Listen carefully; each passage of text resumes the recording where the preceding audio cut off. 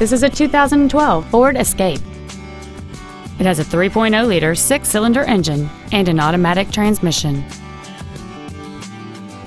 Its top features include heated front seats, a low tire pressure indicator, traction control and stability control systems, aluminum wheels, and satellite radio. The following features are also included an auto dimming rearview mirror, an external temperature gauge, a six speaker audio system, leather seats, a four wheel independent suspension, front fog lights, roof rails, dusk sensing headlights, an anti lock braking system, and cruise control. With an EPA estimated rating of 27 miles per gallon on the highway, fuel efficiency does not take a backseat. Contact us today and schedule your opportunity to see this vehicle in person.